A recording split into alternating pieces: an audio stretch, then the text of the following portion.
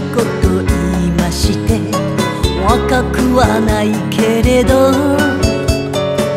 恋はそこそこしたんです。一度も見習らずに。そんなひな子に惚れました。俺は熊之助。貯金そこそこあったけどもうすぐそこをつく。親に会いたい。居合わせたくない。遠くでいいから。居合わせたくない。ひな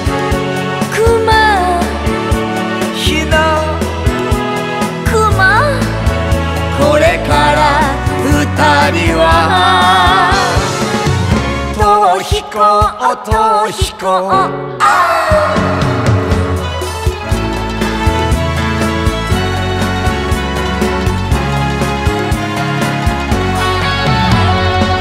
私ひなこと言いまして売れない歌手ですが夢はそこそこあったけどだけバカでした。そんなひな子に惚れまして一緒に旅をして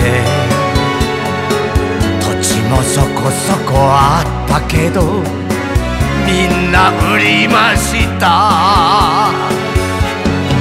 東海住みたい。いや秩父でいいかも。マンション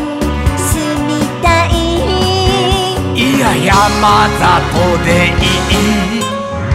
ひな。熊ひな。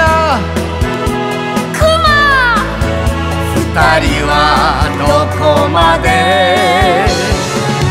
逃避行逃避行親戚金借り。お前のせいだから少しはあるでしょう。おい何にもねえよひな熊ひな熊この先どこ行く？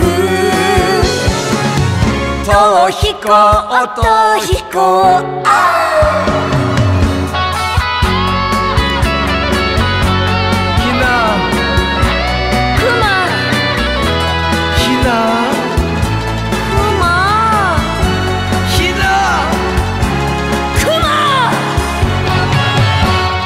やばくね？